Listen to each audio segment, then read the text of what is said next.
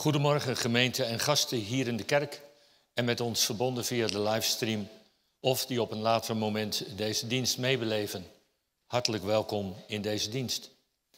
In deze dienst waarin we ons voorbereiden op de viering van het heilige avondmaal aanstaande zondag gaat ons predikant dominee van der Ree voor. En het thema voor deze dienst is schuilen in Bethlehem en we lezen daarbij uit het Oude Testament Rut 2 de versen 1 tot 18a. Mededelingen namens de Kerkenraad. De avondmaalsdienst voor aanstaande zondag 17 december. In de morgendiensten worden in de eerste dienst, die om 9 uur aanvangt, de wijken 5 tot en met 8 verwacht. En in de tweede dienst om kwart over 11 de wijken 1 tot en met 4. En in de middagdienst wordt het avondmaal gehouden voor hen die s morgens verhinderd zijn. En is er ook dankzegging. Aanstaande woensdag 13 december zal om 8 uur een bezinningsuur zijn. En de meditatie zal dan verzorgd worden door dominee van Zorgen. De fysieke collecte in deze dienst is bestemd voor toerusting en vandaag is dat voor de gezinspakketten. De bankcollecte voor de vaste kosten van de kerk kan worden overgemaakt op het rekeningnummer van de, van de kerk. En de gegevens daarover vindt u in de zondagsbrief of op onze website pneo.nl. Ook dit jaar zullen de jongeren van Deo Juvante en Progresto kerstattenties gaan bezorgen bij de ouderen van 75 plus. En de bezorgperiode start vandaag en zal tot zaterdag 23 december zijn. De tasjes staan klaar in hal 4 en dat is hier achter de kerkzaal en kunnen daar ook worden afgehaald. We vangen deze dienst nu aan met het zingen van de schoolpsalm en dat is vanmorgen psalm 62 vers 5. En de kerkenraad wenst u en jou een gezegende dienst toe.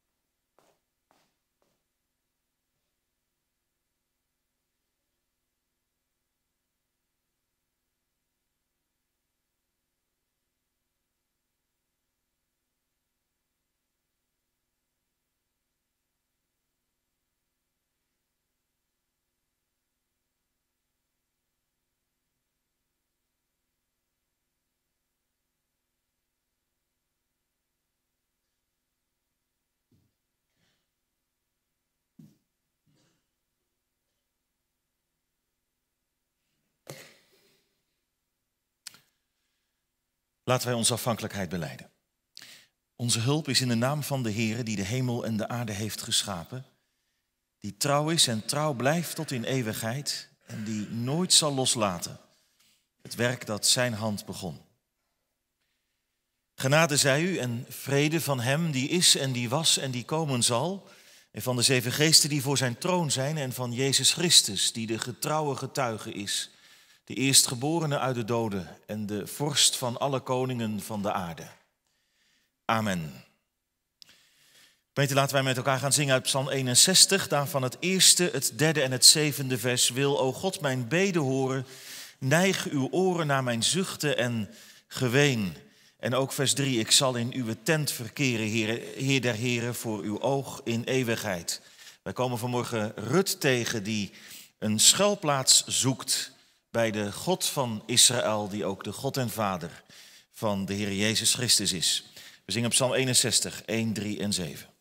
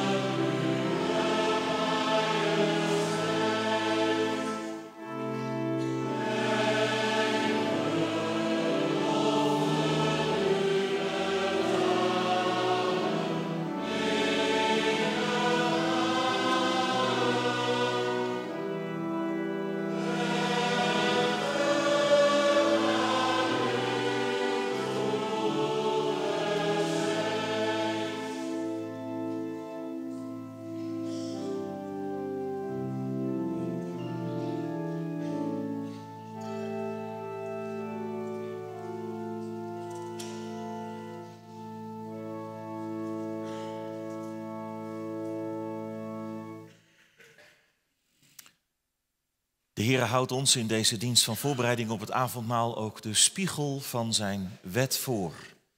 Dat wij onze zonde ontdekken en zo de genade van de Heer Jezus Christus ook nodig zullen hebben.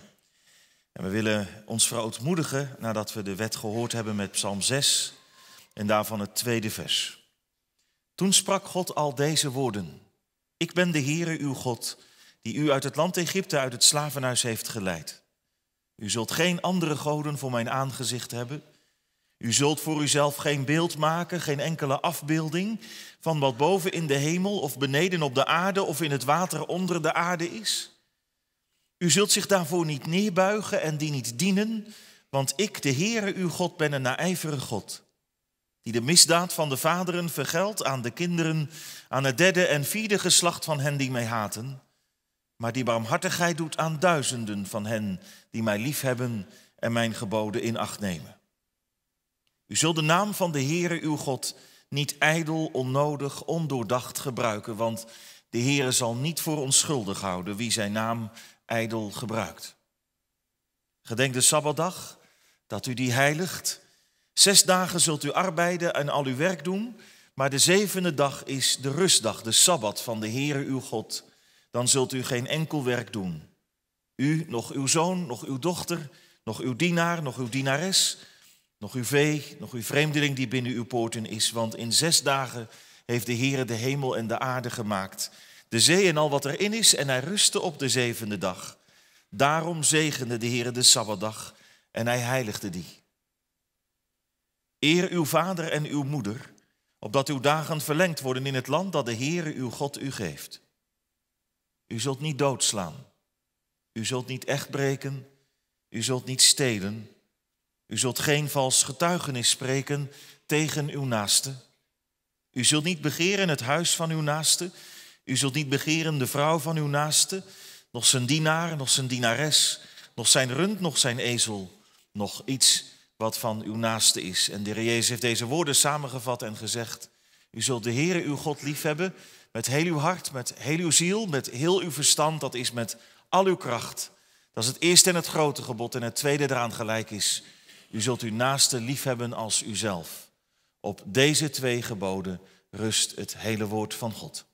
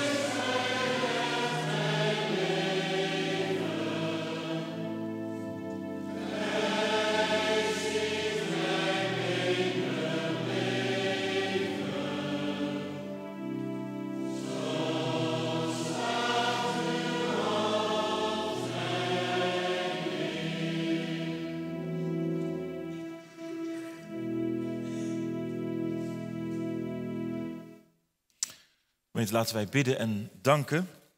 Er zijn heel wat punten voor de dankzegging en de voorbeden.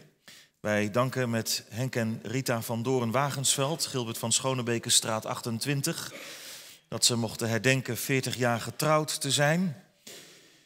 We danken met familie van Manen Rijneveld van Blauwgras 5, dat zij afgelopen woensdag 50 jaar getrouwd waren. We danken dat Geke Verhoef en Marga de Wit weer veilig zijn teruggekeerd in Nederland nadat ze een maand lang in Sierra Leone hebben gewerkt voor Mercy Ships.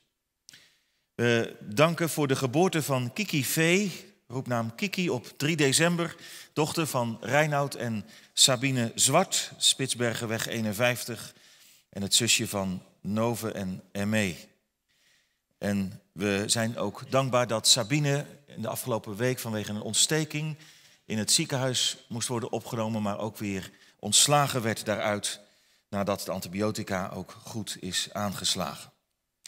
We danken dat broeder Bekkerman van de Stationstraat 73 weer thuisgekomen is uit het ziekenhuis. Hij is daar behandeld in verband met kanker. En in het nieuwe jaar bij Leven en Welzijn zal de behandeling worden voortgezet. Wij bidden voor onze broeder H. van Dijk van de Goudvink 75. Hij zal aanstaande woensdag een ingreep ondergaan aan zijn oogleden. Wij bidden ook voor dominee Mulder, die dinsdag zal vertrekken voor een reis naar Pakistan voor werk voor deputaten diaconaat. Wij bidden voor broeder Van der Sluis van de Rederijkers 50. Hij heeft te horen gekregen dat verdere behandeling niet meer mogelijk is en dat daarmee de laatste fase van zijn leven is ingegaan. Wij bidden voor zuster Takke Willemsen van de Vijgedam 2. Hanny is deze week vanwege pijnklachten onderzocht in het ziekenhuis. En daar is geconstateerd dat ze lijdt aan een agressieve vorm van lymfeklierkanker. En in de komende tijd moet nader onderzoek worden gedaan om te bezien welke behandeling gegeven kan worden. Wij bidden voor zuster Hetty Dekker van de Dagbouw Ooglaan 20. Ze is deze week ter observatie opgenomen geweest in het ziekenhuis in Ede nadat ze een TIA heeft gehad. Inmiddels weer thuis ook. Wij willen bidden voor broeder Benno Oosterbrink. Hij heeft een gebroken rib opgelopen, ouderling van wijk 1. Hij heeft een gebroken rib opgelopen. En wij willen bidden voor broeder Klumpenaar van het Prinses Christina Plantsoen 90. laatste weken is hij zwakker geworden. Hij heeft hartfalen. En zoals mensen het zien, is hij in de laatste fase van zijn aardse leven gekomen. Wij willen ook hem aan de Here opdragen. Laten wij bidden en danken.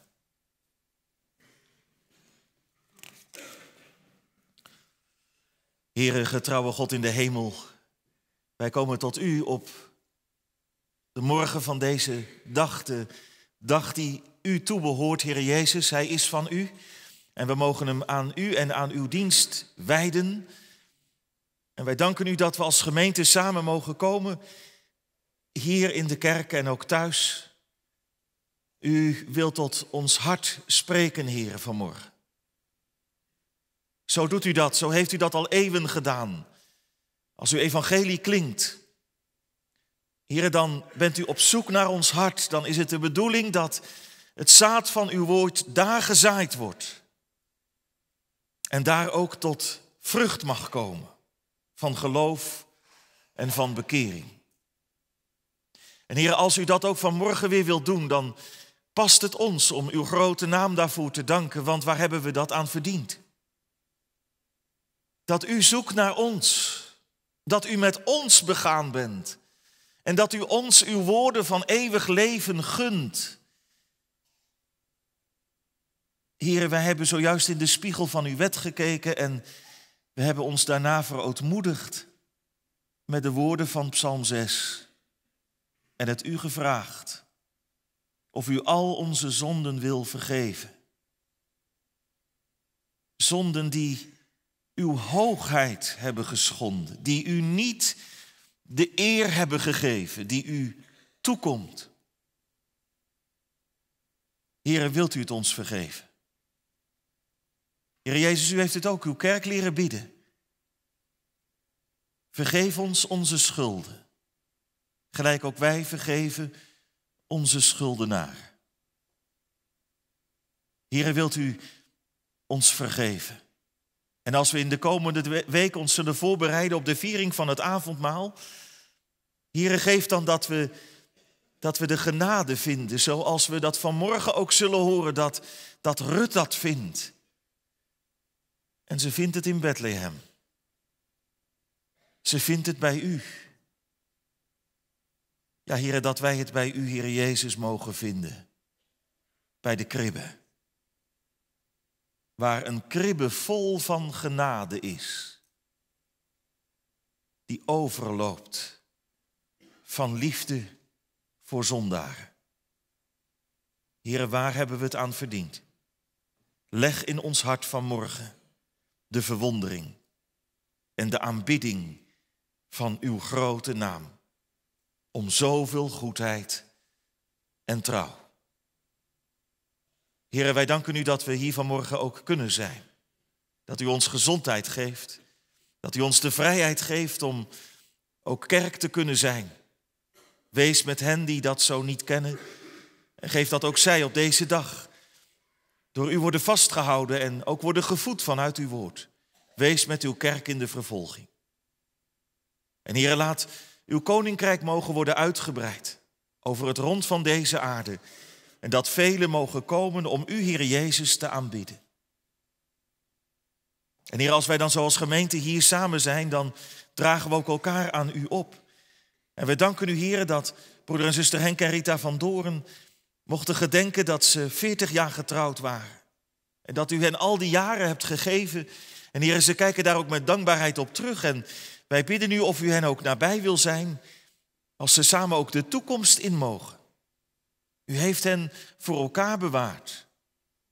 Wilt u ook meegaan van hier de toekomst in?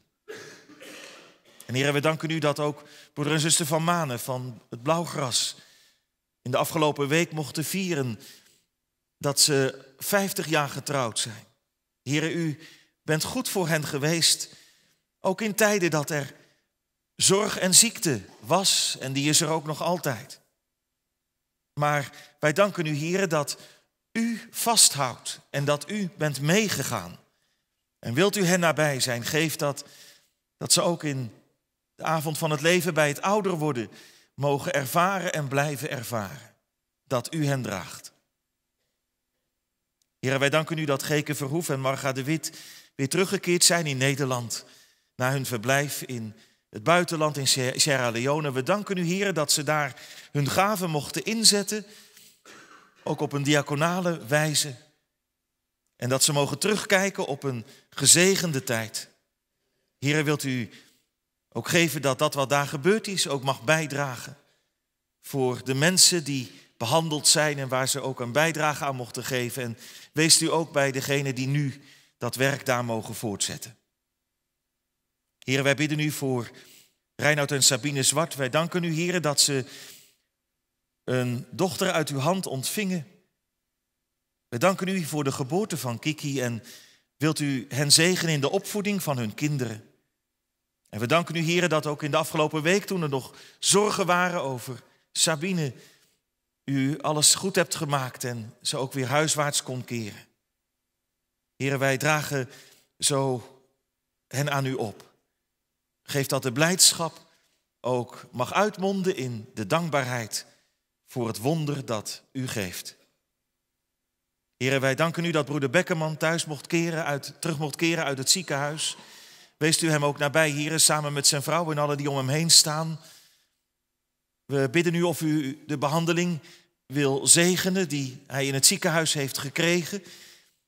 En wanneer ook later verdere onderzoeken zullen plaatsvinden en gesprekken met artsen, heren, wilt u erbij zijn en wilt u geven dat er herstel en genezing mag komen. Wij bidden u voor broeder Van Dijk. Wilt u met hem meegaan als hij in de aankomende week voor een ingreep naar het ziekenhuis moet? Hier wilt u de ingreep ook goed doen verlopen en geeft dat hij mag rusten in u en in uw wonderbare macht. Heer, wij bidden u voor dominee Mulder. Wanneer hij een reis gaat maken voor deputaten, wilt u met hem meegaan en wilt u hem een behouden reis geven en ook weer een behouden thuiskomst? Zegent u het werk dat daar in Pakistan gebeuren mag en de contacten die er zullen zijn? Heer, wees, u hem nabij. We bidden ook voor broeder van de Sluis, van de Rederijkers. Wanneer hij te horen kreeg deze week dat er geen behandeling meer mogelijk is. Heren, wat een ernstig bericht is dat. Wilt u hem in uw hoede nemen? En geef, heren, dat hij de troost mag vinden in u, Heer Jezus Christus. Want u hebt alle macht in hemel en op aarde. Wij bidden u voor zuster Takke, die te horen kreeg in het ziekenhuis dat ze een agressieve vorm van lymfeklierkanker heeft. Heren, wij bidden u of u haar nabij wil zijn. Wanneer er opnieuw ziekte is gekomen en dat de laatste jaren al zo vaak kwam. Heren, wilt u ook nu weer er voor haar zijn? Wilt u haar in uw hand nemen en dragen, heren? En geef dat ze ook in deze moeilijke omstandigheden haar ogen mag slaan op u, Heer Jezus. U bent immers de trooster. Wij bidden nu voor zuster Hetty Dekker, nu ze in de afgelopen week opgenomen werd ter observatie nadat ze een TIA kreeg. Heren, we danken u dat ze nu weer thuis mag zijn, maar wilt u ook dicht bij haar zijn? Geef dat ze in alles, heren, mag vertrouwen op uw naam en geef dat die naam ook groot voor haar mag zijn. Uw naam is immers de Immanuel, de God met ons. Heren, we bidden u of u dat evangelie ook voor haar wil doen leven. Wij bidden u voor broeder Klumpenaar. Wanneer hij heeft gehoord dat, wanneer het met hem ook niet goed gaat en wanneer het erop lijkt, heren, dat ook hij in de laatste fase van zijn aardse leven is gekomen. Wilt u hem nabij zijn, Heere God, en geef dat hij zijn vertrouwen mag stellen op u. U bent de God van de genade, die niet met ons doet naar onze zonde, maar die ons juist in liefde en genade wil aanzien. Heere, maak uw genade voor hem groot en laat dat ook genoeg voor hem mogen zijn. Wij bidden u voor broeder Benno Oosterbrink, wanneer hij een gebroken rib opliep. Heer, wilt u hem herstel geven, zodat hij ook zijn werk en ook zijn werk als ouderling in het ambt weer kan oppakken. Heren, wij dragen ook anderen aan u op die met ziekte en zorg te maken hebben. Wanneer we de gevolgen ondervinden van het ouder worden, wanneer we dingen niet meer kunnen die vroeger wel gingen. Heren, wees u ons nabij. En geef dat we in alles onze toevlucht nemen tot u en tot de schaduw van uw vleugels, Heer Jezus. Want daar is immers rust en hulp te krijgen ter gelegene tijd. Heere, wees u zo met ons in deze dienst. Geef een ieder die een taak heeft wat nodig is. En hoor naar onze gebeden. In de naam van Jezus Christus uit genade. Amen.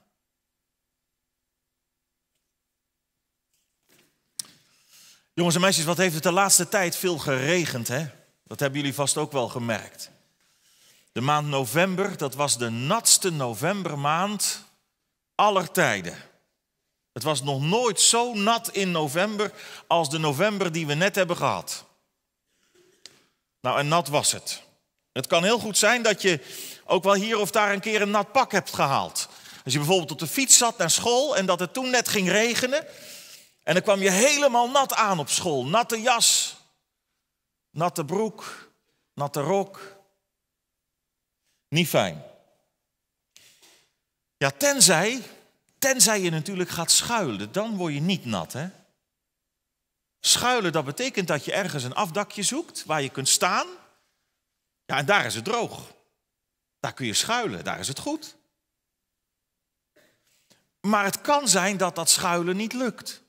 Als er bijvoorbeeld nergens een afdakje te vinden is en je zit op de fiets en dan gaat het regenen, ja, dan moet je verder. Dan word je nat. En sommige schuilplaatsen zijn ook niet zo heel goed. Als je bijvoorbeeld tegen de regen probeert te schuilen onder een boom. Nou, de bomen hebben helemaal geen bladeren. Dus daar valt de regen zo doorheen. Vanmorgen gaat het in de preek ook over schuilen. Want in de Bijbel staat dat je mag schuilen bij de Heere God en bij de Heere Jezus. Wat betekent dat? Nou, als je schuilt voor de regen, dan, dan regent het wel, maar je wordt niet nat. Nou, zo mogen wij nou bij de Heere God schuilen als er heel erge dingen gebeuren bijvoorbeeld. Dingen die je heel verdrietig maken of juist heel boos. En je mag ook bij de Heere God schuilen met, met al je verkeerde dingen die gebeuren. Je zonde. En als je dat doet, dan zijn ze er nog wel. Net als dat je schuilt en onder een afdak, dan is er nog wel regen. Dat erge is er nog wel. Maar als je schuilt, dan, ja, dan tegen de regen word je niet nat. Als je schuilt bij de Heere God, dan mag je weten dat Hij je helpt en dat Hij voor je zorgt. Nou, hoe doe je dat, schuilen bij de Heere God? Nou, door te vertrouwen op Hem en door naar Hem toe te gaan in je gebed, door het dan in je gebed aan Hem te vragen, Heere God, wilt U bij me zijn, zodat ik niet verdrietig en boos zal zijn en zodat mijn zonden vergeven worden. Nou, wie dat ook gedaan heeft, Dat is Rut en daar gaan we over lezen vanmorgen. Gemeente, wij lezen Rut 2, vers 1 tot en met 18a. Rut 2, vers 1 tot en met 18a en daarna zingen we uit Psalm 142, vers 2, 4 en 5.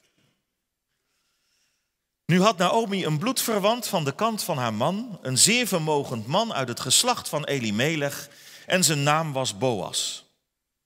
En Rut de Moabitische zei tegen Naomi, laat mij toch naar de akker gaan en aren rapen achter hem in wiens ogen ik genade zal vinden.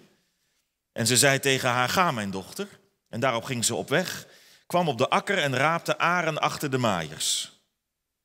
En het overkwam haar dat ze op een deel van de akker van Boas terechtkwam, die uit het geslacht van Elimelech was. En zie, Boas kwam uit Bethlehem en zei tegen de maaiers, de Heere zij met u. En ze zeiden tegen hem, de Heere zegene u. En daarop zei Boas tegen zijn knecht, die over de maaiers aangesteld was, wie behoort deze jonge vrouw toe? En de knecht die over de maaiers aangesteld was, antwoordde en zei, dat is de Moabitische jonge vrouw die met Naomi teruggekeerd is uit het land Moab. Ze zei, laat mij toch aren rapen en verzamelen tussen de schoven achter de maaiers. En zo is ze gekomen en ze is gebleven van vanmorgen af tot nu toe. En ze heeft bijna niet binnengezeten. En toen zei Boas tegen Rut, u hebt het gehoord, niet waar mijn dochter? Ga niet op een andere akker aren rapen. Ook moet u hier niet weggaan, maar u moet dicht bij de meisjes blijven die voor mij werken. Uw ogen moeten op de akker gericht zijn die zij aan het maaien zijn en u moet achter hen aangaan. Heb ik de knechten niet geboden dat zij u niet aanraken?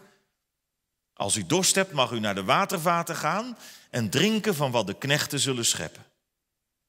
Toen wierp zij zich met het gezicht ter aarde, boog zich naar de grond en zei tegen hem: Waarom heb ik genade gevonden in uw ogen, dat u naar mij omziet, terwijl ik een buitenlandse ben? En Boas antwoordde en zei tegen haar: Het is mij allemaal verteld, alles wat u na de dood van uw man voor uw schoonmoeder gedaan hebt. En hoe u uw vader en uw moeder en uw geboorteland hebt verlaten en naar een volk bent gegaan dat u voorheen niet kende. Mogen de Heere uw daad vergelden en mogen uw loon volkomen zijn van de Heere, de God van Israël, onder wiens vleugels u gekomen bent om toevlucht te nemen. En zij zei, laat mij genade vinden in uw ogen, mijn Heer, want u hebt mij getroost en u hebt naar het hart van uw dienares gesproken, hoewel ik niet ben als een van uw dienaressen. En toen het etenstijd was, zei Boas tegen haar, kom er hierbij en eet van het brood en doop uw stukje brood in de zure wijn. En zo zat ze neer naast de maaiers en hij reikte haar geroosterd koren aan. En ze at en werd verzadigd en hield nog over. En toen ze opstond om weer aren te gaan rapen, gebood Boas zijn knechten, laat haar ook tussen de schoven rapen en val haar niet lastig. Ja, laat ook opzettelijk voor haar wat vallen uit de bundels aren en laat het liggen, zodat ze het op kan rapen en bestraf haar niet. Zo raapte ze aren op de akker tot de avond. En wat ze geraapt had, klopte ze uit en het was ongeveer een eva gerst. En ze pakten het op en kwam in de stad. Tot zover.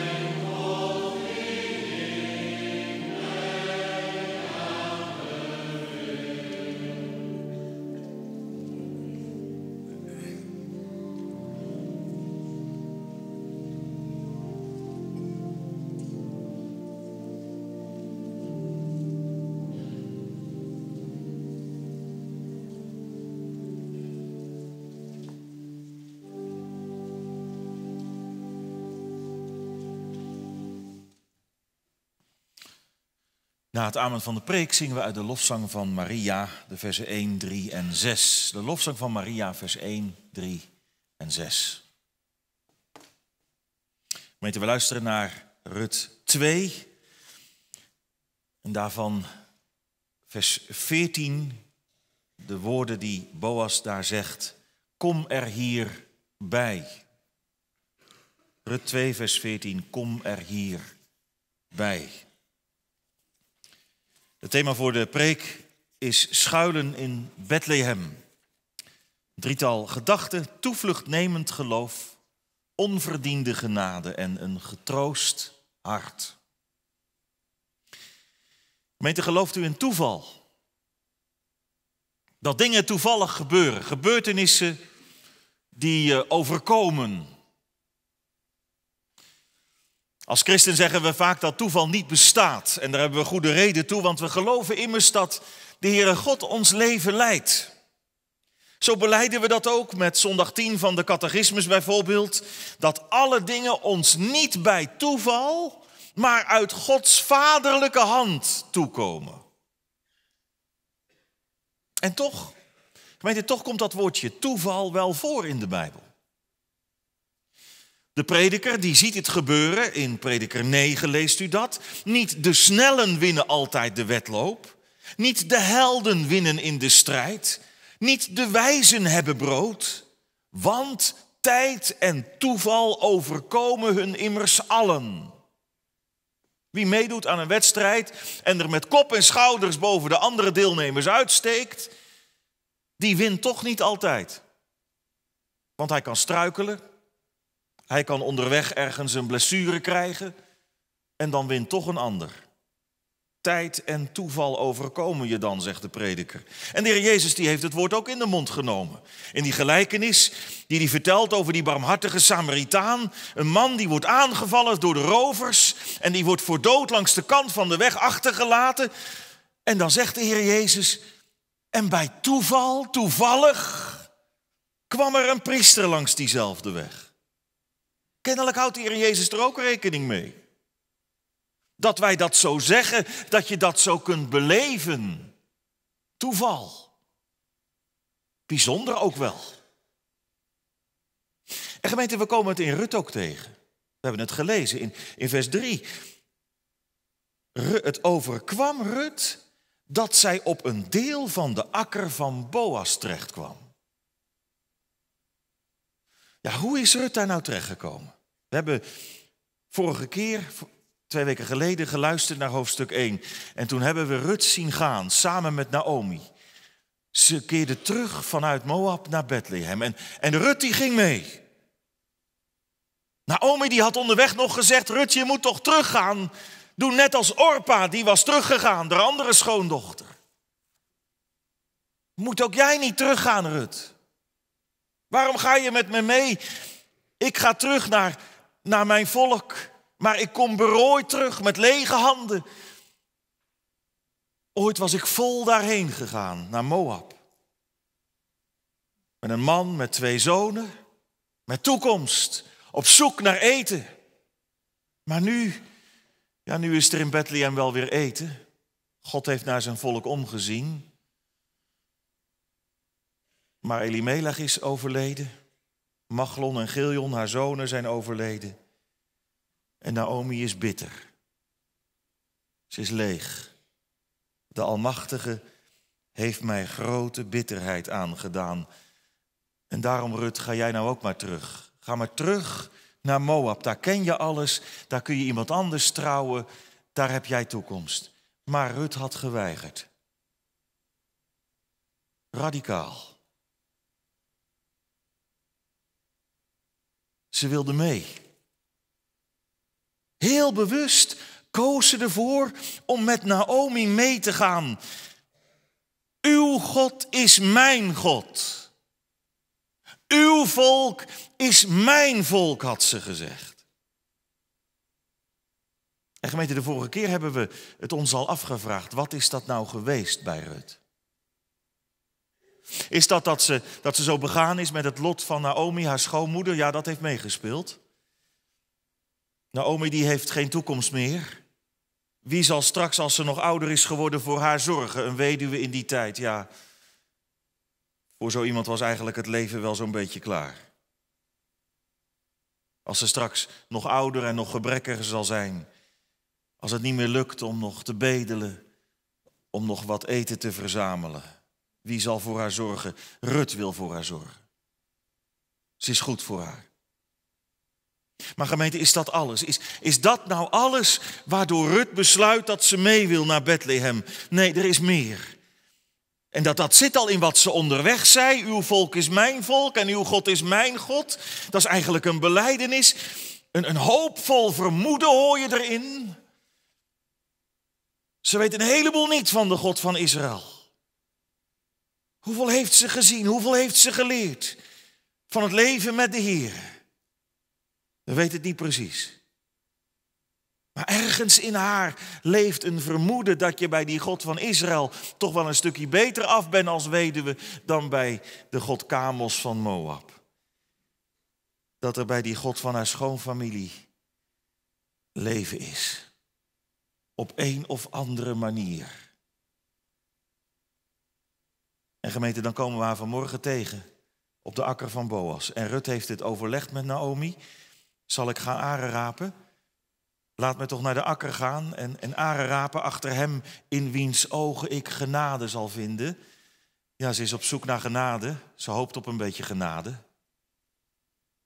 In Bethlehem is er weer oogst. De gestenoogst breekt aan. Maar ja, hoe kom je als twee weduwen dan aan eten? Eigenlijk is het voor hen nog steeds hongersnood. Er is maar één mogelijkheid, dan moet je naar de akker gaan en dan moet je daar aren rapen. En, en, en dat ging dan zo gemeente dat als er geoogst werd, dan gingen de maaiers voorop. Die, die maaiden de halmen af. En daarachter liepen dan de meisjes. En, en die raapten de, de halmen bij elkaar en die maakten de bundels van. En daarachter, ja, daar liep dan allerlei volk. De armen, de weduwen, de wezen, de vreemdelingen. En die mochten dan nog oprapen wat er, wat er nog was blijven liggen. Dat was de zoeken in de brandende zon. Dat is hard werken. En dan hoop je maar op wat genade, op wat genade van de eigenaar van dat stuk land, dat hij je niet van zijn veld afjaagt, want daar kwam nog alles voor. Dan hoop je maar dat, dat er geen ruzie ontstaat, dat niet de maaiers zeggen, hé, hey, hey, dat moet je nog laten liggen. Dat rapen we nog op, dat is nog voor de baas. Ja, en die jongens die konden ook wel eens handtastelijk worden op dat veld. En je hoopt maar dat die meisjes die de, de aren bundelen, dat die je dan een klein beetje mededogen hebben en hun werk niet al te goed doen. Dat er af en toe wat blijft liggen. Meet, het is zwaar, vermoeiend, frustrerend werk wat Rut moet gaan doen. En toch, de Heer die had het wel zo verordend. De armen, de weduwen, de wezen en vreemdelingen, daar moest voor gezorgd worden in Israël. En dat moest niet karig gebeuren, dat was vaak wel de praktijk op die akkers. Maar ruim. Leviticus 19 bijvoorbeeld, daar lezen we dat, dat het arenrapen het recht van de armen is. Daar heb je recht op dat je dat mag doen. En dat een boer ook niet alles van zijn land mag halen daarom. De hoeken van het land die moeten sowieso blijven staan. gemeente, dan neemt Rut het initiatief. En ze zegt tegen Naomi, laat mij toch naar de akker gaan en aren rapen. En dan stemt Naomi toe. Ze gaat niet mee, valt op. Was ze al te oud, te gebrekkig? Of blijkt hieruit hoe bitter ze is? Dat ze echt ook alle hoop heeft opgegeven. Maar Rut gaat naar een akker. Ze loopt de stad Bethlehem uit. Nou, daar zijn akkers genoeg, de velden van Efrata. En dan, het overkwam haar dat ze op een deel van de akker van Boas terecht kwam. Toeval? Ja, zo zal ze het aanvankelijk hebben beleefd, denk ik. Rut weet ook niet van wie die akker is. Ze heeft er gewoon eentje uitgekozen. En, en dan maar hopen en bidden om genade. Is het toeval dat ze daar terecht komt? Of is het leiding van God? Ja, gemeente, dat laatste, dat, dat moet daar toch onder zitten, of niet? Dat ze nou juist daar terechtkomt. Op die akker van Boas. En, en Boas, daar gaan we nog meer over horen. Er zal nog veel met Boas gebeuren. Hij zal een ware verlosser in Bethlehem blijken te zijn voor Rut en voor Naomi. Ik laat dat vanmorgen verder liggen, maar, maar hier zit de hand van de Heer achter. En gemeente, is dat nou niet hoe je dat mag beleven? Als je je hoop bij Hem zoekt, dat God je dan leidt. Dat er dan soms dingen gebeuren waarvan je zegt, dat was ook bijzonder, best toeval hè. En dan denk je er nog eens over na en dan zeg je, dat was helemaal geen toeval. Hij is met me bezig. Hij leidt mijn leven. Hij zorgt voor mij. Hij brengt me daar waar hij me hebben wil. En waar het goed is. Gemeente, Rut die geeft zich in die weg. Want het is waar, het is Gods leiding. Wat is Ruts aandeel dan? Nou ja, dat blijkt als ze in gesprek komt met Boas. Boas die merkt haar op. Als die eens een akker komt inspecteren, wie is die jonge vrouw? Vaak zijn het wat ouderen die daar zijn. De weduwen, oudere weduwen. Maar wie is zij, die jonge vrouw? En, en dan vertelt de voorman het. Ja, dat is die Moabitische jonge vrouw die met Naomi is teruggekeerd uit Moab. En dan spreekt Boas Rut aan. Rut, ga niet naar een andere akker. Blijf op die van mij. Ik zal mijn jongens instructie geven dat ze goed met je om moeten gaan. Je mag ook drinken uit de watervaten van de knechten. En als Rut dan voor Boas neerknielt, zegt Boas tegen haar in vers 11. Het is me allemaal verteld. Alles wat u na de dood van uw man voor uw schoonmoeder gedaan hebt. En vers 12, mogen de Heere uw daad vergelden. En mogen uw loon volkomen zijn van de Heere, de God van Israël onder wiens vleugels u gekomen bent om toevlucht te nemen. Gemeente, dat is het. Dat is wat, wat Rut heeft gedaan. Wat er ook in haar hart leeft. Boas die herkent dat in haar. Zij is daar niet zomaar. Ze heeft alles achter zich gelaten. Ze heeft Moab eraan gegeven om naar Bethlehem te gaan. Ze heeft de toevlucht genomen onder de vleugels van de God van Israël. Gemeente, dat is het. Toen, toen, toen Rut onderweg tegen Naomi zei, uw volk is mijn volk en uw God is mijn God. Toen ging ze de toevlucht nemen bij de Heer. Dat is haar geloof. Dat is het geloofgemeente van iemand die dus niet zoveel kennis heeft, ze is er niet bij opgegroeid. Die er ook eigenlijk helemaal buiten staat, er helemaal niet bij hoort, maar die nou toch gekomen is. En je zou kunnen zeggen, een beetje brutaal. Alsof ze de, de God van Israël uitdaagt. Here, hier ben ik. Ik heb niks meer. Moest alles achterlaten. Mijn man is gestorven. Ben hier alleen maar met mijn schoonmoeder voor wie ik moet zorgen. Hier ben ik. Nou moet u voor mij zorgen. Ik schuil bij u. Gemeente, dat is een toevluchtnemend geloof, zo kun je het noemen. Is dat echt geloof? Als je meer niet hebt.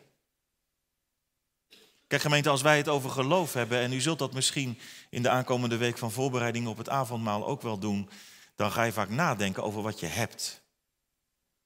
He, geloof, dat heeft te maken met dat je God kent, dat je hem vertrouwt en dat je dat vormgeeft in je leven, dat je, dat je trouw bidt en, en, en trouw bent in je Bijbel lezen. Dat je naar de kerk gaat en dat je je hart erbij betrokken is. Dat je het ook voelt van binnen. En al die dingen meer. En dan gaan we, dan gaan we bij onszelf nadenken van wat heb ik?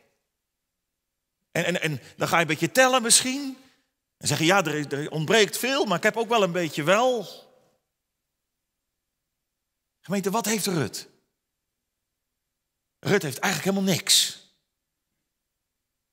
Zou ze hebben geweten dat het in Israël zo verordend is door de Heer dat je aren mag rapen, dat het je recht is? Ik weet het niet. Het kan maar zo van niet. Leven met de God van Israël? Nou, misschien heeft ze het wel gedaan, maar ze laat zich er niet op voorstaan. Blijkt in haar leven dat ze een overtuigd gelovige is. Een grote in het koninkrijk van God. Nou nee. En ze heeft de mond, ook, de mond loopt er ook niet, niet van over. Het is bij Rut allemaal zo spectaculair niet. Zo groot en stevig niet. Ze is maar gewoon een jonge vrouw die al heel veel heeft meegemaakt. En die, ja, ja, dat is er wel. Die haar hoop heeft gesteld op de God van Israël. En die daar in Bethlehem, in het broodhuis, toekomst hoopt te vinden. En daarom is ze komen schuilen. Onder de vleugels van de Heer. Bij zijn volk. Bij zijn gemeente. En gemeente, is dat genoeg? Als u nou bij uzelf ontdekt van de week, ik heb eigenlijk niet zoveel meer dan Rut. Wat is het armzalig in mijn leven? Is het genoeg om avondmaal te vieren? Is het genoeg gemeente om, om dan straks kerst te kunnen vieren? Kun je daarmee aankomen bij de kribben? Of zeg je van ja, maar advent, dat, dat is voorbereidingstijd. Dat moet toch wat meer opleveren? Dat je, dat je voller raakt van de Heer, zodat je dan straks met kerst, dat het er dan uitbarst. Maar misschien merk je ook wel, maar, maar ik heb het niet. Weet je, kun je met zo'n toevluchtnemend geloof, dat alleen maar zegt, Heer, hier ben ik, ik heb niks. Wilt u voor me zorgen? Doet u het maar. Kun je met zo'n toevluchtnemend geloof nou leven? Kun je daarmee sterven in vrede? Of wordt er meer gevraagd? Weet u hoe het met Rut gaat? Rut die vindt iets. Dat is tweede onverdiende genade. Boas die zegt tegen Rut dat ze op zijn akker moet blijven en ze moet dicht bij de meisjes blijven die aren gaan rapen en in de bundels binden. Eigenlijk zegt Boas, loop maar gewoon tussen ze in. Het lijkt wel alsof, alsof ze opeens in dienst is bij Boas. En ook de schoven in bundels moet binden. Maar zij hoeft ze niet op het land neer te zetten zodat ze later worden opgehaald. Nee, zij mag ze meenemen. Aan het eind van de dag. Het is voor haar en voor Naomi. En gemeente, als Rut dat hoort, dan, dan werpt ze zich op de grond. Ze verootmoedigt zich. En ze zegt, waarom heb ik genade gevonden in uw ogen dat u naar mij omziet, terwijl ik een buitenlandse ben? Gemeente, Rut die weet, ik heb hier helemaal geen rechten. Wat haar nu toevalt, het toeval in haar leven, ja, dat kan alleen maar genade zijn. Daar ontdekt ze de hand van de Here achter. En als Boas het even later heeft over alles wat ze voor Naomi gedaan heeft, dat hij dat gehoord heeft, dat ze zo goed voor Naomi gezorgd heeft en dat ze Moab achter zich gelaten heeft, dan is het eerste wat Rut zegt in vers 13, ja, dat heb ik goed gedaan, hè? Nee, Nee, dat zegt ze niet. Laat me genade vinden in uw ogen. Mijn Heer. Gemeente Rut, die vindt genade. Daar was ze naar op zoek. Maar ze vindt het ook. Ze ontvangt wat ze niet verdient. Waar ze ook niks voor gedaan heeft, maar het valt haar toe. Dat is toeval. Bij de Heren vandaan. Ook wat ze voor Naomi gedaan heeft en doet. Weet het legt voor haar geen verdiensten in de weegschaal. Zo van, nou heb ik heel wat goeds gedaan, nou zal Boas mij ook wel belonen. Nou moet de de God van Israël, me wel belonen. Nee, nee gemeente Rut, die weet het is, als die doet, als ik het krijg, is het genade. En als je nou genade zoekt bij de God van Israël, als je het zoekt bij het kind van Bethlehem en tot hem de toevlucht neemt, gemeente, dan, dan wijst hij je niet terug. Zo van, nou, dat is wel een beetje dun allemaal bij jou. Er wordt bij de hemelpoortgemeente en bij de poort van Gods koninkrijk niet aan ons gevraagd of je wel helemaal zuiver bent in alles. Of je het onderscheid wel weet tussen dit en dat. Er wordt u niet gevraagd of je, of je het allemaal wel oprecht bedoeld hebt. En hoe vaak je er wel mee bezig bent geweest. En gemeente bij de avondmaalstafel volgende week. En hier bij de ingang van de, van de deur, als, als we het avondmaal vieren, dan staat er niet een engel die van Gods wegen je keurt en zegt: Zit het wel helemaal goed met jou? En dat je dan alleen dan binnen mag komen, als het goed zit. Dan was het hier volgende week leeg. Want het zit niet goed. Met u niet, met mij niet aan onze kant te kort, te weinig, te schamel, te armzalig. Maar dat is nou genade. Dat Hij zich dan ontfermt over een volk dat naar Hem niet vraagt. Over zondaren die het zelf niet hebben. Hij ontfermt zich over allen die komen en de toevlucht nemen tot Hem, onder Zijn vleugels. Wie je ook bent. Ook al ben je als Rut. Gemeente, beseft u dat Rut de Bijbel tegen zich heeft? In Deuteronomium 23, ik heb het twee weken geleden ook genoemd, daar staat het onomwonden. Iemand die uit Moab afkomstig is, mag in de gemeente van God niet komen. Dus voor haar geldt ook die regel niet, die wet van de Heer dat ze aren mag rapen. Ze hoort er gewoon niet bij. Ze moet eigenlijk van dat land af, ze moet het land uit. Ze heeft de Bijbel tegen. Maar wij ook. Misschien denkt u, denk ja, ja, maar dat geldt voor mij ook. De Bijbel tegen, die me oproept om de zonde te laten en te haten. Die Bijbel die het heeft over geestelijke groei. Over toenemen in de genade, in de kennis van de Heer Jezus Christus. En dan kijk je naar jezelf en dan zeg je, is het gelukt? Nee, weer niet, nog steeds niet. Zo klein, zo weinig, zo arm. Maar gemeente, juist dan komt er ruimte voor genade. Want genade zou geen genade meer zijn als je er wat tegenover moest stellen. God ontfermt zich gemeente niet over mensen met volle handen. Nee, als je rijk bent in jezelf. Als je hart en je hoofd vol zitten met alles wat van jou is. Als dat je in beslag neemt. Als je daardoor geleid wordt in je leven. Als dat de koers bepaalt in alles. Ja, dan word je leeg weggezonden. Zoals Maria het zingt in de lofzang, we gaan straks ook zingen. Hij zag geen rijken aan, maar heeft ze in hun waan gans ledig weggezonden. God ontfermt zich over. Legen. Naomi zei het. Vol ging ik weg.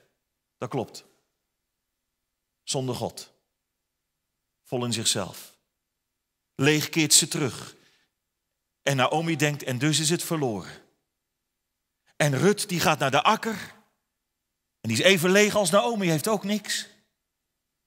En ze hoopt op genade. En ze krijgt genade. Want God ontfermt zich over zondaar, over armen van geest, die er van zichzelf buiten staan, maar die een plek mogen vinden om bij Hem te schuilen. Ja, Hij nodigt ze zelfs aan tafel. Want Rut komt aan tafel te zitten van, bij Boas. Kijk, eigenlijk zou zij misschien ergens achteraf haar twaalf uurtje moeten opeten. Maar Boas wenkt haar. Kom er hierbij. En eet van het brood, doop uw stukje brood in de zure wijn. En zo zat ze neer naast de maaiers, naast Boas zijn dienaren. En hij reikte haar geroosterd koren aan.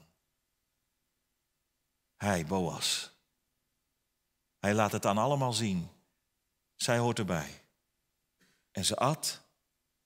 En ze werd verzadigd. En ze hield nog over. Gemeente Rut mag erbij. Kom er hierbij. Er is voor haar plaats in Bethlehem. En gemeente, dat is het evangelie van kerst. Dat je mag komen naar de kribbe om daar dat kind te aanbidden. En dan is er plek vrij. Wie de toevlucht zoekt bij de Heer Jezus Christus en bij de God van Israël, die mag aanschuiven. Die mag komen. Hij zegt het, hij nodigt u uit. Kom er hierbij, want hier moet je zijn. Alleen hier is het leven te vinden. Alleen hier kun je eten en werkelijk verzadigd worden, zodat je vol wordt en niet meer leeg. Weet de Boas vertoont het trekken van de Heer Jezus. Hij vertoont het trekken van die God die, die daar in Bethlehem het laat zien. Hier is genade te vinden, onverdiend. Geen goedkope genade overigens. Want gemeente, daar straks in Bethlehem, in een kribbe, daar ligt Gods genade bij uitstek. En voor hem was geen plaats. Een stal, een kribbe was zijn deel. En even later een kruis. Jood en heiden hebben hem weggestoten. Er is voor jou geen plaats in ons midden. Ja, en zelfs zijn hemelse vader. Er was geen plaats meer in de hemel voor hem. Het werd donker toen Jezus aan het kruis stierf. Ook zijn vader wees hem af. En hij stootte hem van zich af. Maar dat deed hij, opdat er voor armen plek zou zijn. Opdat wij op die plek mogen gaan zitten, gaan staan, die Hij heeft vrijgemaakt. Waarvoor Hij kwam. Om onze zonde en schuld op zich te nemen. Zodat, zodat Hij zou zeggen, kom jij er maar hierbij. Bij mij. In mijn koninkrijk in mijn gemeente aan mijn tafel. Gemeente voor genade moet je echt in Bethlehem zijn. Voor leven, echt leven, moet je echt in Bethlehem zijn. De toevlucht nemen tot Hem. En dan zegt Hij, tussen mijn dienaren is er voor jou plek. Ook voor jou genade. Ja, maar Heer Jezus, ik heb helemaal niet aan u gedacht. Ik heb helemaal geen sterk geloof. Ik, ik heb u helemaal niks aan te bieden. Hoe kan dat nou? Geen wierook, geen mirre, geen goud. Ik hoor er niet bij, toch? En dan zegt hij, kom er hier maar bij. Ook voor jou, ook voor u. En gemeente, dan is het niet karig. Dan is er overvloed. Het is misschien maar een detail, maar het staat er natuurlijk niet voor niks. In dat oude boekje Rut. En ze at en werd verzadigd. en hield nog over. Gemeente van Gods liefde en van zijn genade hou je over, want dat is altijd groter. Dat is meer dan je op kunt. En meer dan je kunt bevatten. Dat is groter dan je zonde. Dat is groter dan je schuld. Zijn liefde is meer dan de leegte in ons hart. Het raakt vol. En daarom is het niet hopeloos. Daarom zegt hij het om Christus wil. Kom er hierbij. Gemeente, wat doet u daarmee? Dan laat je je plek niet leeg, toch, of wel? Kijk, dat is wel wat je bij Rut steeds ziet, hè? Als Naomi tegen haar zegt onderweg: Rut, ga nou toch terug naar huis, joh. Je hebt geen toekomst in Bethlehem. Dan zegt Rut: Nee, nee, ik ga het daar zoeken. En als hier Boas haar uitnodigt, blijf op mijn akker, niet naar een andere akker gaan, dan gaat ze niet toch naar een andere akker. En als hij tegen haar zegt, Rut, kom er hierbij, hier bij mijn maaiers. En eet maar mee. En hij reikt haar het geroosterd gestebrood aan. Dan zegt Rut niet, nee, nee ik, ik blijf wel even hier zitten. Of, of ik hoef dat niet. Nee, gemeente, dan komt ze ook. Dan neemt ze ook de toevlucht. Dan staat ze op. Dan krijgt ze brood en wijn. Ja, dan ontvangt ze volkomen troost. Want dat is tenslotte het laatste, getroost hart. Dat is wat ze ervaart. In vers 13 zegt ze tegen Boas, u hebt mij getroost en u hebt naar het hart van uw dienares gesproken, hoewel ik niet ben als een van uw dienaressen. En gemeente zal ze dat ook niet hebben ervaren daar aan die, aan die etenskring van Boas. Troost. Ik mag erbij horen. Ik word gezien. Hij kent me. En ik mag er zijn. Weet de troost, dat is, dat is nodig als je verdrietig bent. Nou ja, Rut die is heel verdrietig. Die heeft veel meegemaakt. Ze is weduwe, ze mist een man. Ze is een vreemdeling in dat land. Een buitenstaande die maar hoopt op wat genade. En wat is haar toekomst nog? Is dit de rest van haar leven de toekomst? Elke keer weer bij de gestenoogst, maar zoveel mogelijk zien binnen te halen? Maar Boas zegt, Rut, ik zie jou. En kom er hier maar bij, jij hoort erbij. Voor mij ben je belangrijk, gemeente, er kan niemand gemist worden. Ook hier niet. U kunt niet gemist worden. Niemand vanmorgen die kan zeggen, ja, maar, maar met mij ligt het toch nog even anders, dominee. Nee. Bij Christus niet. U wordt geroepen. En zo troost de Heer in het hart van Rut. Het is dus geen toeval dat ze op de akker van Boas is. Het valt haar toe. De troost van hem. Het doet wat bij haar van binnen. Ook al is er nog alle reden voor verdriet. Het regent buiten. En je zou er door en door nat van worden. Maar ze heeft een schuilplaats. Door alles heen ziet ze liefde en ontferming in de persoon van Boas. Komt het van Gods wegen naar haar toe. Daar mag ze schuilen. En gemeente, wat is het dan dat ze schuilt? Nou, hij spreekt tot haar hart, staat er. U heeft tot mijn hart gesproken. Kijk, daarom is de prediking nou zo belangrijk. Daarom moeten we ons in de gemeente niet laten afleiden door allerlei andere dingen. Daar waar mensen zeggen, die preken, dat kan allemaal wel wat minder toch? Laten we het dus op een andere manier invullen, daar gaat het mis. Want de prediking die, die deze naam van de Heer Jezus Christus verkondigt, dat is het hart van het evangelie. Dat er tot je hart gesproken wordt. De genadige toezegging van Hem, dat wie tot Hem vlucht, wordt ontvangen. Dat wie het bij Hem zoekt, mag komen. Omdat hij, zoals het avondmaalsformulier het, het zegt, de oorzaak van onze eeuwige honger en kommer, ons verdriet, namelijk de zonde heeft weggenomen en ons de levendmakende geest heeft verworven, dan word je getroost en dan krijg je nieuw leven. Het is de hartelijke uitnodiging om tot Hem te gaan en getroost te leven en te kunnen sterven. Want Hij troost het hart dat schrijend tot hem vlucht. Gemeente, laat u uw plek dan niet leeg. Op zondag, bij het avondmaal, in je binnenkamer.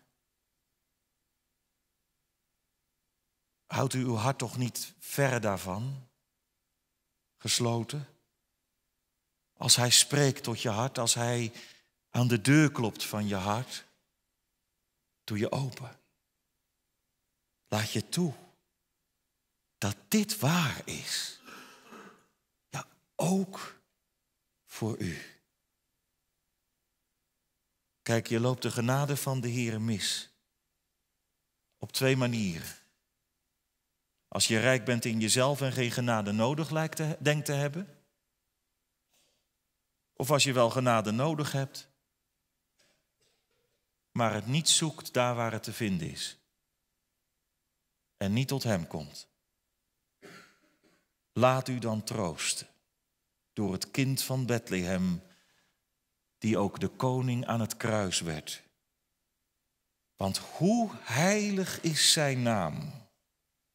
Laat volk bij volk tezamen nu barmhartigheid verwachten. Nu hij de zaligheid voor wie hem vreest bereidt. Door al de nageslachten. Amen.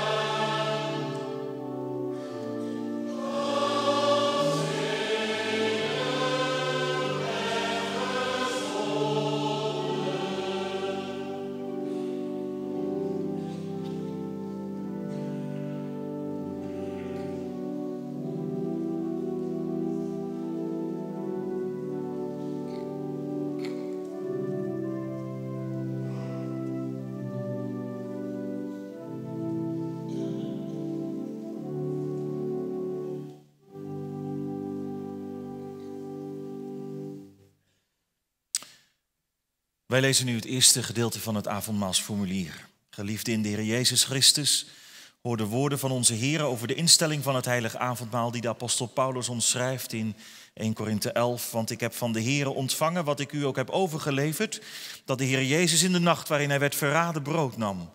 En nadat hij gedankt had, brak hij het en zei, neem, eet, dit is mijn lichaam dat voor u gebroken wordt. Doe dat tot mijn gedachtenis. En evenzo nam hij ook de drinkbeker na het gebruiken van de maaltijd. En hij zei, deze drinkbeker is het Nieuwe Testament in mijn bloed. Doe dat zo dikwijls als u die drinkt tot mijn gedachtenis. Want zo dikwijls als u dit brood eet en deze drinkbeker drinkt, verkondigt, u de, dood, verkondigt de dood des Heren tot, totdat hij komt. Daarom wie op onwaardige wijze dit brood eet of de drinkbeker van de Here drinkt, is schuldig aan het lichaam en bloed van de Here. Maar laat ieder mens zichzelf beproeven en laat hij zo eten van het brood en drinken uit de drinkbeker. Want wie op onwaardige wijze eet en drinkt, die eet en drinkt zichzelf een oordeel, omdat hij het lichaam van de Here niet onderscheidt. Opdat wij nu tot onze hulp en troost het avondmaal van de Here mogen houden, is voor alles nodig dat we ons vooraf op de juiste wijze beproeven en voorts dat wij het houden met dat doel waartoe de Heere Christus het heeft bevolen en ingesteld, namelijk tot zijn gedachtenis. De waarachtige beproeving van onszelf bestaat uit drie delen. Ten eerste laat ieder bij zichzelf zijn zonde en vervloeking overdenken, opdat hij een afkeer van zijn zonde heeft en zich voor God verootmoedigt. Want de toren van God tegen de zonde is zo groot dat hij die niet ongestraft wilde laten, maar de straf ervoor door zijn bittere en smadelijke kruisdood heeft voltrokken aan zijn lieve zoon Jezus Christus. Ten tweede, laat ieder zijn hart onderzoeken of hij de betrouwbare belofte van God gelooft, dat hem al zijn zonden alleen om het lijden en sterven van Jezus Christus vergeven zijn, en dat de volkomen gerechtigheid van Christus hem als zijn eigendom toegerekend en geschonken is. Ja, zo volkomen alsof hij zelf in eigen persoon voor al zijn zonden betaald en alle gerechtigheid volbracht had. En ten derde laat ieder zijn geweten onderzoeken of hij ook gezind is voortaan met zijn hele leven waarachtige dankbaarheid aan God de Here te bewijzen en oprecht te wandelen voor Gods aangezicht. En eveneens of hij, terwijl hij van, van harte alle vijandschap, haat en afgunst aflegt, zonder enig huigelen, een ernstig voornemen heeft om voortaan in waarachtige liefde en eensgezindheid met zijn naaste te leven.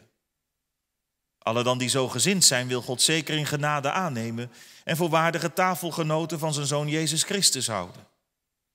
Zij die dit getuigenis in hun hart daarentegen niet gevoelen, eten en drinken zichzelf een oordeel. Naar het bevel van Christus en van de apostel Paulus vermanen wij daarom alle die weten dat ze met de volgende aanstootgevende zonde besmet zijn, zich van de tafel van de Here te onthouden.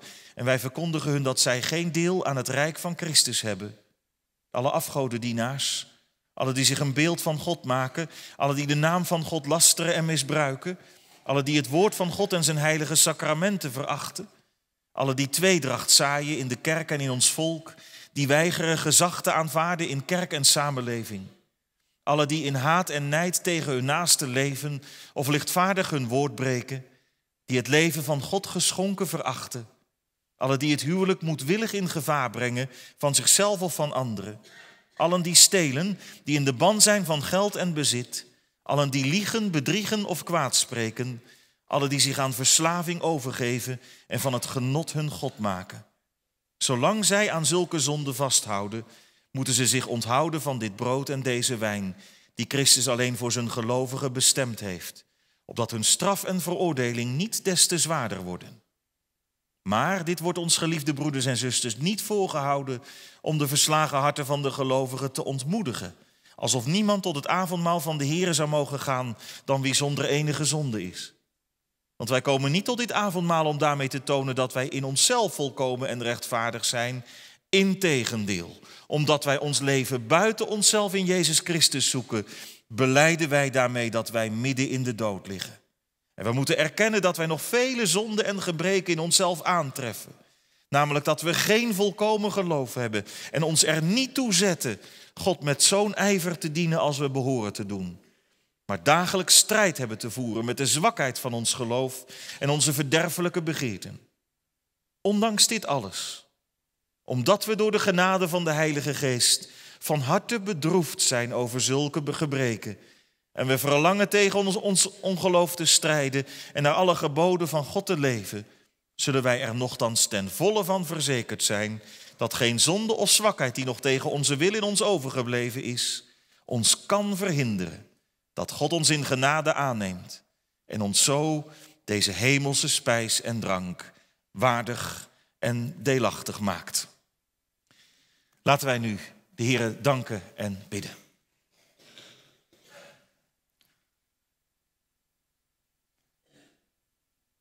Want Heer, dan mag onze geest blij U, Heer Jezus, onze zaligmaker noemen, mijn zaligmaker. Dat zongen we zojuist. Dat is ook wat het avondmaalsformulier beoogt. Dat we met lege handen komen, met ons gebrek en ons gemis, maar dan ook komen om het van U te ontvangen. En dat het ons van harte leed is. Alles wat ons in ons is overgebleven aan zonde en ongerechtigheid. Dat is ook, heren, wat we in uw woord hebben gelezen van, vanmorgen. Wat we hebben gehoord. Hoe u door de mond van Boas heen het tegen Rut zei, kom er maar bij hier. Kom maar bij mij. In de schaduw van mijn vleugels mag je schuilen. Heren, wat een heerlijk evangelie. En dan, dan, dan kent u alle stemmen die er in ons hoofd en hart zijn. Die, die het ons dan moeilijk kunnen maken. De aanvechtingen. En ook de verleidingen. Om het niet bij u te zoeken, maar elders. Heer Jezus, doe ons zien op u. Geef ons verootmoediging en vertrouwen. En een toevlucht nemend geloof. Opdat wij bij u, Vader, Zoon en Heilige Geest, een schuilplaats mogen vinden. Waar we veilig zijn en waar ons hart getroost wordt. Voor leven en voor sterven. Gaat u met ons mee als we straks naar huis gaan? Wilt u een goede en gezegende voorbereidingsweek geven? Wanneer we op woensdagavond ook ons mogen bezinnen daarop en daar ook een moment voor mogen nemen. Heren, geef ook dan een goed moment. Zegent u dominee van Zorgen die dan ook daarin hoopt voor te gaan. Wilt u hem vervullen met uw heilige geest? En heren, wilt u zo uw naam groot maken? Onder ons en in deze wereld. Vergeef genadig wat niet naar uw wil is geweest, in spreken en in luisteren. En hoor ons gebed in Jezus' naam alleen. Amen.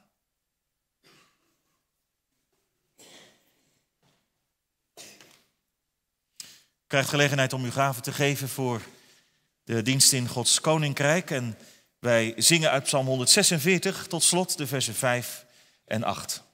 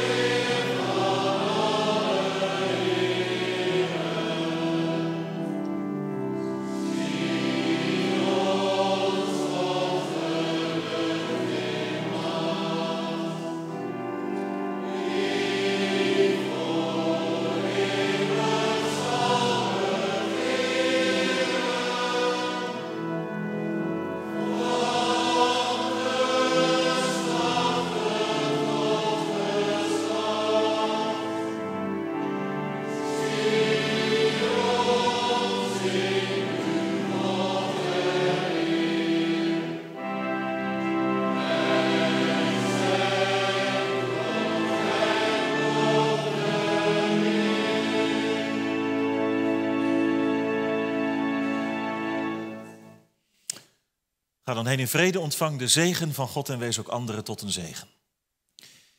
De genade van onze Heer Jezus Christus, de liefde van God de Vader en de gemeenschap van de Heilige Geest met u allen. Amen.